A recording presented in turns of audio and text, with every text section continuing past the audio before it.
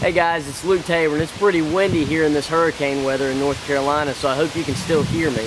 But today I'm doing a video on the thing that I get a lot of questions from from guys that are switching from compounds to traditional.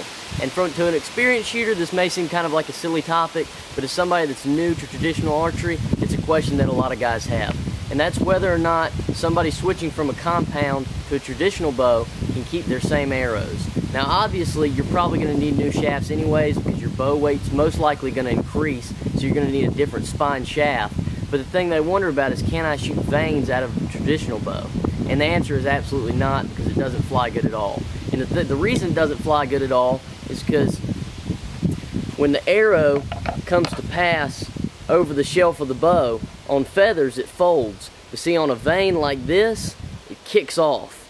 And so when you go to shoot it, it bounces off of the shelf and it flies crooked. And so with feathers, it folds and allows it to go straight. But the vanes, that's why you can't shoot them out of traditional bows because you're shooting off of a shelf, whereas you're drop with a compound, you're shooting off of a drop away rest or out of a whisker biscuit or something like that. So I'm going to take a couple shots with this, and then I'll take a couple shots with the feathers and show you guys how they shoot.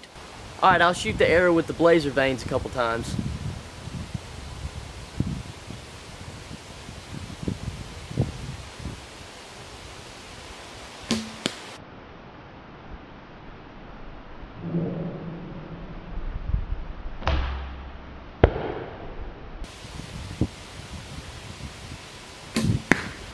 All right, now the arrow that's fletched with feather.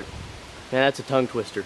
The arrow that is fet, the arrow that's fletched with feathers. Okay, I got it that time. All right, I'm gonna shoot this one a couple times.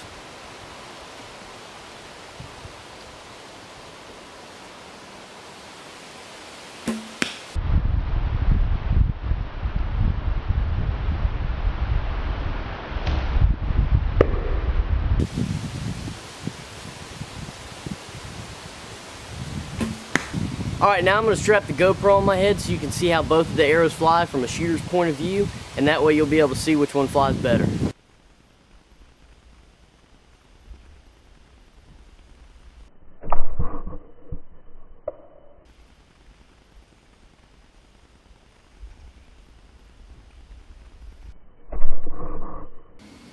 Well, as you can see here, the feathered arrow flew a lot straighter than the arrow with the vanes on it. And these arrows are the exact same spine. The only difference is that this one is fletched with feathers and this one is fletched with vanes. So again, this is not for your average experienced shooter that knows what he's talking about. So please no comments about, yeah, you idiot, that's obvious. You know, you don't shoot vanes out of a traditional bow.